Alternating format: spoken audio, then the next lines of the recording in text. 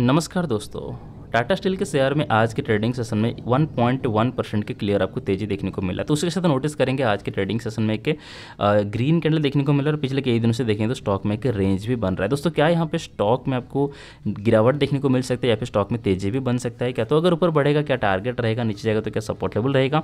सब कुछ इस वीडियो में क्लियरली समझने वाला है तो इस वीडियो को कंप्लीटली ज़रूर देखिए। दोस्तों नोटिस कर सकते हो टाटा स्टील के शेयर स्टॉक आपको यहाँ पे इस तरीके से हायर है का कंडीशन बना के स्टॉक ऊपर बढ़ता हुआ देखने को मिल रहा है। तो ऊपर बढ़ते बढ़ते स्टॉक ने अपने प्रीवियस का रेसेंस को ब्रेकआउट किया। और ब्रेकआउट करने के बाद आप देखेंगे तो स्टॉक यहाँ पे काफ़ी समय से एक रेंज बनाया तो अभी के लिए इस रेंज की जो हाई है, वो आपके लिए रेजिस्टेंस का काम करेगा। 170 170 का राइट तो जैसे स्टॉक अपने इस रेजिस्टेंस को ब्रेकआउट कर देगा तो स्टॉक में एक तेज़ी का मूवमेंट बनेगा। तो अभी कंडीशन को अगर समझेंगे दोस्तों, आपको दिखाई दे रहा है, अभी भी स्टॉक में पॉसिबिलिटी है ब्रेकआउट करने की।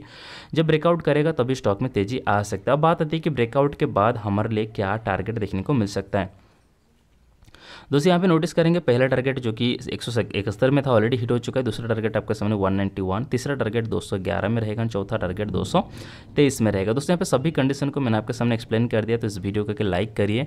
चैनल को सब्सक्राइब कर लीजिए कमेंट सेक्शन में ज़रूर बताए वीडियो आपको कैसा लगा। स्टॉक में बाय सेल होल्ड करने की कोई भी सलाह सुझाव नहीं है। वीडियो एजुकेशन पर्पज जब बनाया गया तो बहुत बहुत धन्यवाद दोस्तों।